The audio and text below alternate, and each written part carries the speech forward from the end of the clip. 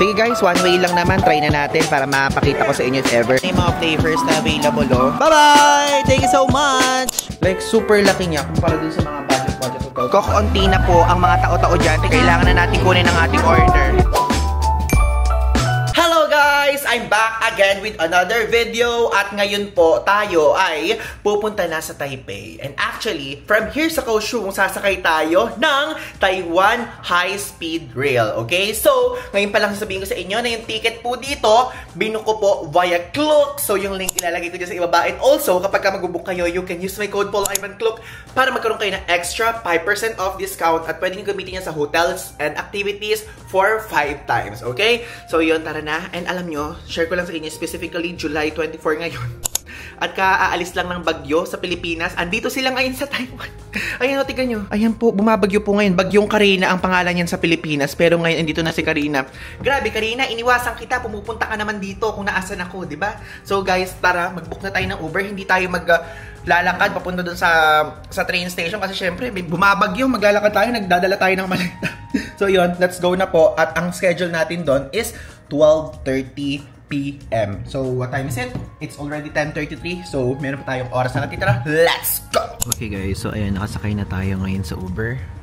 Tignan nyo, walang katao-tao gaano. I mean, meron palang tao, pero walang katao-tao yung mga physical na taong naglalakad. Pero yung mga kotse meron. Buti na lang meron tayong nabook na Uber. Ang lakas ng bagyo pala dito. Kasi syempre kanina kasi nasa loob tayo ng hotel room so hindi natin nararamdaman. Tapos soundproof pa. Nung paglabas natin yung mga puno talaga palang naghahanginan. Ayun o, yun, medyo mahina pa nga yan eh. Ayan. Ay, di nakikita guys. Pero mahangin. Share ko nga lang pala. Ang uh, nabook ko nga pala, papunta to ng HSR Zuying Station. Ang presyo nito ay 233 NTD. Pero, bumawa siya sa Grab ko kasi nakakonect to sa Gcash card ko. 594 pesos. Okay na na gumamit na gumastos tayo ng ganun kalaki. Kesa naman maglakad tayo sa sa mismo mga lakad-lakad na ay mga ano na yan, yung mga daanan na yan. Gets nyo yun? Tapos bigla tayong matamaan ng kidlat. Diyos ko. Okay, so finally, we're here sa HSR Zuying Station. Okay? So, oo nga pala, gusto ko lang sabihin sa inyo na yung HSR po dito, yung or yung High Speed Rail, is hindi siya Kaohsiung Station yung pangalan, kundi Zuying Station. Okay? Dahil, yun po ang pangalan. Baka mamaya eh, i-search nyo saan yung Kaohsiung Station, ganyan. Hindi. Zuying dapat ang ilalagay nyo. Yung pangalan ilalagay ko dyan sa screen, okay? So, let's go! Ayan o, di ba? Zuying Station. Wow, wow, wow! Katuwa, we're back! Finally! Buti na lang bukas. Kahit may bagyo ngayon. Like, uh, literally guys, sa labas, super, super, super lakas talaga ng bagyo. Bago tayo kumain dito, kasi madaming kainan dito, itutour ko din kayo dito sa mismong station. Ayan o. Oh. Meron dito ang tickets, area. Ayan, mamimili kayo kung corporate account or business class upgrade? Ah, may mga business class. Ano kaya yung business class, no? Parang gusto kong mag-upgrade, guys, ng business class. Kaya lang baka mahal na mahal masyado. Ayan, let's go. So, nagre-research tayo kung magkano. Regular fare? Ano tong mga to? Ba't mayroong mga ganyan? Magkano kaya mag-upgrade? Sige guys, one way lang naman. Try na natin para mapakita ko sa inyo if ever. Hindi pala pwede kasi may nakalagay kailangan daw ipakita yung Taiwan mobile number. Eh wala tayong ganun. Pero alam nyo kahit ganyan, mabilis naman yung pila. Ayan o, oh, tignan nyo oh meron palang ika-cancel na train service. Sana hindi tayo maabutan after ay before 2300 nakalagay. Uh, I purchased ticket via Klook. Recheck your ticket. I do your passport. Okay. Ah, passport. Okay. Kailangan ng passport. Wait a minute. Here. Thank you so much. Guys, nag-schedule kasi ako ng mismong ticket na 12.30 yung alis. Pero nandun na ako sa ticketing counter, i-move na ako ng 11.55. So may mga ganun palang instances. Siguro, hindi ko sure kung dahil, dahil dumating ako ng maaga or uh, baka mamaya is dahil nga may bagyo, kaya ganun ang naging siste. Mas gusto ko sana 12.30 uh, something. Kasi ang aga-aga kong dadating dun sa Taipei, eh, anong oras pa lang, hindi pa ako makapag-check-in. So ito nga pala itsura, pagka andito kayo sa mismo station, tinginan. Ayan. Ay, wait, wait, wait. Ayan po ang tinginan dito. Ayan, ito tayo. Dito tayo sa 11.55. So, yung stop niya, ito lang. 1, 2, 3. Doon tayo sa pangatlo. Kasi Taipei yung pangatlo eh. Okay? Let's go. Lang, as far as I remember, meron dito ng Mr. Donut. Pumunta tayo sa Mr. Ayun! Nakita ko na ulit! Let's go! Ayan yung Mr. Donut. Mag-breaking muna tayo. Sana may matcha, please. Please, Lord. Sana may matcha. Sana may matcha. Wala silang matcha. Ba yan? May mga flavors na available, oh. Diba? Excuse me, do you have matcha? No matcha. No matcha? Okay. Um, one this one. One, one, and one. Ayun ang ah, munang Mr. Donut. Yun muna yung kakainin natin sa train. Pwede kasi kumain sa train. Share ko lang. Plus, ito yung ticket natin. So, mapakita ko sa inyo. So, ayan, ibig sabihin nito, 11.55 yung alis dito sa Kaohsiung. Dating natin doon, 13.29. Tapos, ang car natin is car number 2. Tapos, seat natin is 3B. Okay? So, yan po ang ating ah, ganap-ganap. Okay? Pumunta na tayo doon sa baba. Ang train number natin is, wait, Ayan, 124. Let's go! Pumunta na tayo. Dito po ang pasukan ha. Ayan po. Dito kayo papasok. Here. So, bumaba na tayo. Platform where? Dito tayo sa platform 3. Bababa. Okay? So, 11.55. Ayun. Okay, so dito na muna tayo. Maghintay na muna tayo dito sa upuan kasi doon sa ibaba. Pagka bumaba kayo dito sa platform 3, walang mga upuan dyan. I mean, very, very konti siguro. Nakalimutan ko na. Pero, ito karamihan ng mga chair. Pag bumaba tayo doon, hindi na tayo makakapanik dito ng maayos-ayos. Kaya, let's go. Let's go! Bumaba na tayo dito sa platform 3. Wow, ang lamig. Hindi mainit. Nakakto. Ay, ito na pala agad oh. Okay, no? Nandito na po ang tren. Let's go! So, 3 ito. Doon tayo sa 2. Ayun yung 2. Here. So, dito po tayo. Okay? Sa 2. Ayan, let's go. Ayan, nakasakay na tayo. So, sa 3B tayo. Actually, aisle siya. Aisle seat. Kala ko window. Okay lang yun. Pahinga na tayo. So, ayun, meron ganito dito guys. Share ko lang sa inyo. If ever, kung gusto nyo kumain, meron pong ganito sa tren. At, uh, may window.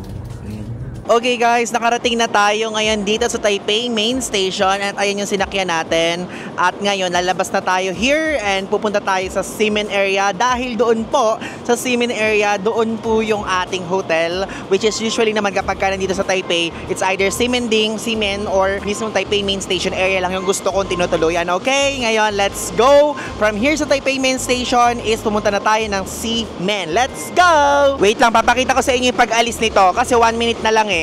Ayun na, malapit na umalis. Ayan, nag-close na ata. Hintayin nating umalis. Ayan, nag-close na. Let's wait. Ah, umaandar na. Mabilis yan, guys. Bye-bye! Thank you so much for uh, bringing me from Kaohsiung to Taipei! Okay, andito ngayon tayo sa Siemens Station and actually, exit 6 ng ating dadaanan papunta doon sa ating mismong hotel. And tignan nyo, oh, hindi ganoon kadami. Ngayon lang ako nakakita ng ganitong ah, crowd dito sa Siemens. Lagi kasi always, always, always talaga crowded to. Okay, so ayan po, andito na po ngayon tayo sa Siemens Ding at tignan nyo, walang katao-tao. Nakakatuwa. At the same time ay nakakabwisit dahil sarado silang lahat. Karamihan sa mga malls ngayon, saka sa mga establishments, isarado today. So ngayon, I think, wala tayong magagawa. Magre-rest tayo ngayong araw at uh, idudugtong ko na lang dito, dito sa video na to is yung hotel and room tour. Let's go! Ayan guys, so nakarating na tayo ngayon dito sa Simin Airline Hotel. And actually, yung previous hotel kong Walker Hotel, nasa baba lang pala ito. Like ito 8th floor, yun kasi pinakataas na floor. So ayan po ang itsura ng front desk dito as you can see. At dito, i-redeem ko na dito na panalunan natin sa Lucky Land doon sa 48 hours vlog natin dito sa Taiwan. Ayan. So hindi ko na pinakikita si ate for privacy. At dito nga pala, ayan as you can see, wala po ditong comb, shower cup, toothbrush, toothpaste, razor, and shaving cream. So bring your own dito, okay? Research kasi ako sa mga hotels dito. Like, ito yung isa sa mga nakita kong budget. Like, uh, mura siya at hindi ganoon kamahal. Hindi, hindi naman ganoon kamurang-mura, pero yung tipong, ano siya, nasa middle naman, ganun level. Pero hindi siya mid-range eh. Like, below 3,000 pesos per night pa din naman dito. Kaya if ever, kung nag-iisip kayo, mayroon ako na ibigay na hotel sa inyo, yung Walker Hotel, nasa taas nito yon Pero hindi ko na muna binook yun para makapag-try ng bago. Itong Simen Airline Hotel, tapos yung isang Incube na nasa Taipei Main Station. Okay, diba? So ngayon, hintayin lang natin na pinaprocess ni ate ang ating voucher plus kulang yun eh. So magdadagdag ako ng ika-card ko na lang yung iba, then i-room tour ko na kayo. So ang kulang sa akin, di ba 5,000 NTD lang yun, 1,840 yung dinagdag ko. So yung conversion ilalagay ko dito. Di ba? At least tipid na rin yun. Ayan, andito na po ako sa area ng parang waiting time. Actually, pwede naman kasing umalis muna ganyan. Kaya lang, ang personal choice ko is hindi na muna ako aalis. Kasi may bagyo dito, diba? so, maghintay na lang ako. 30 minutes na lang naman yung aantayin ko. Medyo strict sila, hindi sila nagpapa-early check-in. Sayang. Okay lang. Okay guys, ngayon mag-room tour na tayo dito sa room natin dito sa Seamen Airline Hotel dito sa Seamen mismo. Okay? So ngayon, ayan po ang ating room at dito syempre sa simula ay makikita nyo dito yung key card, yung hotel card, tapos dito meron dito pang do not disturb. Tapos yan, yung mga pindutan dyan. Tapos dito, meron dito mirror. Yan yung uh, napagkaitan sa atin dun sa Kaohsiung kasi walang mirror dun, guys. Tapos ito yung uh, mismong controller ng aircon. Tapos ayan yung mismong bed. Okay, so dito muna tayo. Sa side na to is meron ditong TV. Tapos yan, hindi ko pa nabubuksan actually yan. And dito sa side na to is andito yung mismo ang kanilang toilet. Okay, so napakahaba ng toilet. Like ayun, ang pahabang ganyan. And dito, meron ditong mirror. Meron dyang sink. Sa ilalim, ayun yung mat tapos may pa-blower dyan, may dalawang cup. Tapos, ayan po ang towel. Tapos mayroon pa dyan pa dalawang towel. And dito sa area na to, yung mismong toilet. And wala siyang bidet, guys. Plus, dito naman sa side na to, you will see na meron ditong mga shower. Like, yung isang shower na yan, tapos isang shower na to, tapos ayun, meron doon shower, conditioner, and shampoo. So, I therefore conclude, nakalimutan pa na kasi noon na kung meron bang bidet dito or wala. So, wala po talaga sigurong bidet dito sa Taiwan, no? Actually, pang fifth time ko na ngayon sa Taiwan, pero kasi, yung una kasi, yung Incube, parang Japanese technology yung toilet bowl. Tapos yung Solaria Nishitetsu Hotel na yung previous one ko naman is ano din siya, Japanese technology din. Pero yung pagka mga ganito, mga normal toilet, wala. Okay? So, yun. Don't expect na may bidet.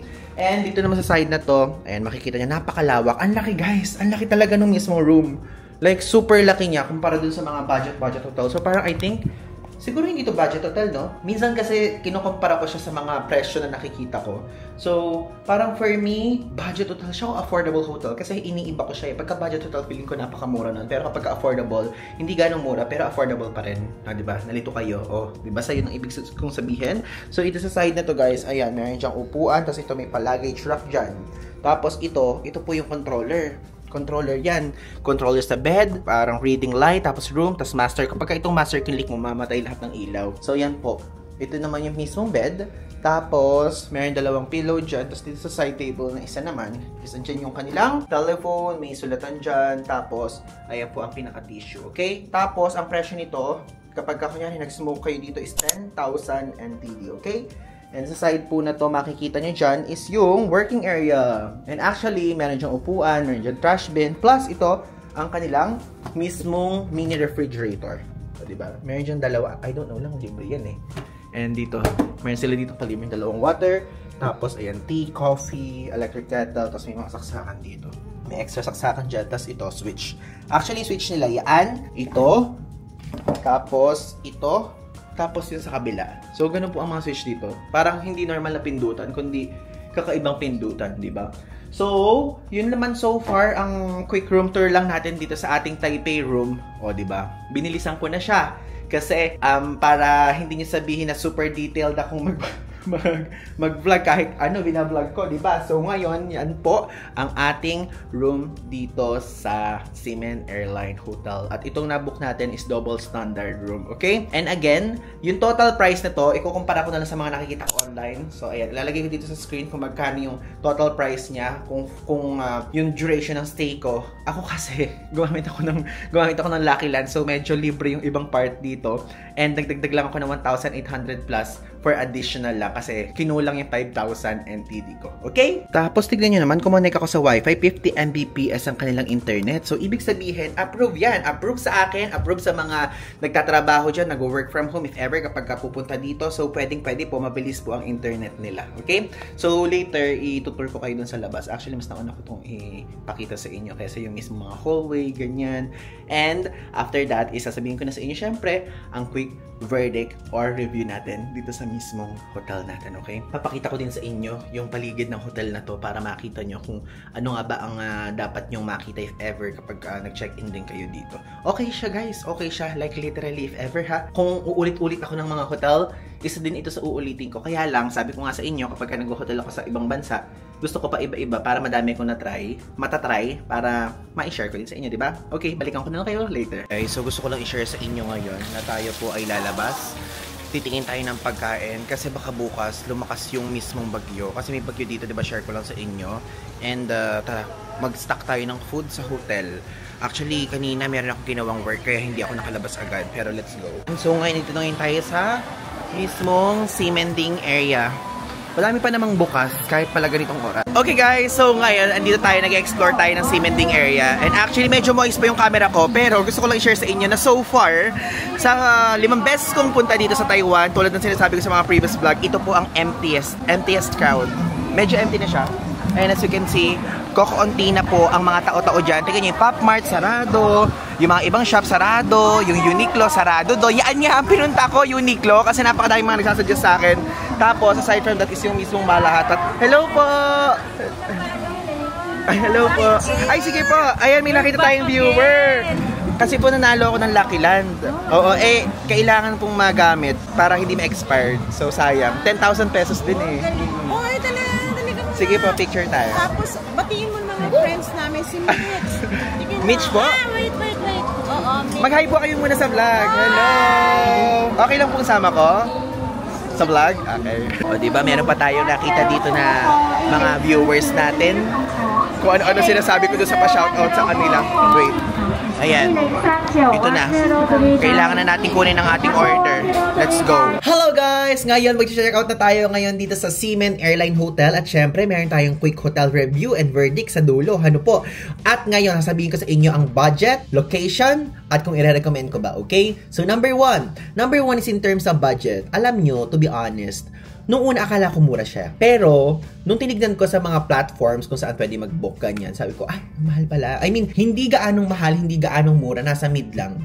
But, but, but, for me kasi parang napamura siya dahil tulad ng sinabi ko sa inyo sa mga previous vlogs, dito ko po kasi niredeem ang napanalunan ko sa Lucky Land worth 5,000 NTD. Then dito, nung nag-check-in ako, nagdagdag na lang ako ng, ito ilalagay ko dito sa screen kung magkano, 1,800 plus, okay? Or 500 plus, nakalimutan ko na. So yun. So parang napamura siya for me. Pero kapag kakunyari kayo, ibubook nyo to generally, like lahat kayo magbabayad, parang medyo price pa rin siya. Parang 3 nights ako dito, then parang lumagpas din ng 10,000 pesos yung binayaran. I mean, yung babayaran ko if ever kung buko ko siyang babayaran, ganun level. And parang for me, okay lang din siya kasi guys, alam nyo, ito nasa gitna siya ng cement ng uh, cementing area din. And uh, pagbaba ko dito, yung location na tayo ha, sa location is, ano siya, pagbaba, andun na yung flour noodles. Alam niyo yung famous na flour noodles? Tapos, malapit na dito yung Sinfutang, yung Pop Mart area, yung, yung Skechers, yung Gate 6, Exit 6, pinakamalapit dito na, na uh, train station exit ng Seaman. Kaya yun, konting walk, walk, walk lang, ganyan. And alam nyo, lalagay ko dito yung screenshot ng hotel ko doon sa Seaman before. Nasa babang floor lang to. So, magka-floor lang, magka-building lang talaga sila. Though, yung isa kong hotel na nirecommend sa inyo noon ay nasa taas siya. Ito, nasa ibaba. At also, kung pagkukumparahin ko kung yun ang ibubuk ko at ito, parang feeling ko yung Walker Hotel yung ibubuk ko. Pero pwede din namang ito kung gusto nyo. Pwede nyo pagkumparahin. Bakit? Dahil parang mas mura yun. Parang mas mura siya sa pagkakaalala ko at ito ay medyo mas pricey pero mas malaki. Ayun o, nakikita nyo po, ang laki niya talaga. Like literally, ang laki niya talaga. Though hindi ko alam kung ito yung uh, ito yung pinakamaliit na option dahil kapag kasi kayo na nanalo kayo sa Lucky Land, kailangan i-PM nyo mismo yung hotel para dun sabihin na i-redeem nyo ganong level. So, hindi ko nakita pa yung mga ibang mga mga rooms nung available that time, ganyan. And uh, ito na yung nai-offer sa akin na available kasi biglaan nga talaga tong trip ko, okay? So, budget-wise, i-rate ko siya ng 8 out of 10 dahil hindi siya ganoon ka-budget. So, kailangan maglagay ng onting money para ng fund para makapag-check-in here. Then sa location is 10 out of 10. Super sulit. 10 out of 10 kasi kapag kunyari nagugutom lang ako, bababa ako. Meron dong bilihan ng milk tea, bilihan ng iced tea, yung parang lemon tea, ganun. Tapos meron family mart na katabi. Tapos napakadaming restaurants. Tapos napakalapit pa talaga sa Seaman area. Like literally guys, parang 100 meters lang nga ata ang layo. Baka nga wala pa. Kasi pagbaba yan na mismo yung parang pinakagitna, yung kung saan nagkakagulo ang madlang people, ganung level. Kaya kung yung location ang kinoconsider nyo, this is the best option. And yung sinasabi ko sa inyong Walker Hotel, best option din yan. And sa budget, okay din naman i-consider to. Yun nga lang, hindi nga siya super budget, okay? So, if ever kung super budget traveler kayo, hindi ito yung perfect hotel for you. Pero kung mid, pwede na to. Pwede na tong hotel na to. And if ever kung budget traveler kayo, i-click nyo tong, ay, panoorin nyo tong video na to. Ayan, meron akong ginawang vlog, yung uh, Incube. Yun naman ang i-recommend ko sa inyo kung super budget traveler kayo, okay? So, yun lang naman ang gusto kong sabihin sa inyo. And uh, sa huli, ko i-recommend ba siya? Yes, i-recommend ko siya kasi wala akong na-experience na something dito na kung ano pa mga suspicious, nakakatakot, or kung ano pa man. Kaya okay siya, guys. Okay? So, yun lang. Maraming maraming salamat. Panoorin nyo pa ang mga susunod kong vlog dito sa Taiwan. Okay? And again, kung kayo, magbubook kayo, pwede nyo ito i-book via Klook. Pero ako kasi, hindi ko ito binook via Klook dahil direct ako nag-book. At kayo, kung i-book nyo ito via Klook, pwede nyo gamitin yung code kong Paul Ivan Klook para magkaroon kayo ng extra 5% of discount sa lahat ng available na Klook hotels and activities. 5 times nyo pwedeng magamit, okay? So yun lang. Maraming maraming salamat po. Again, yun lang. Thanks!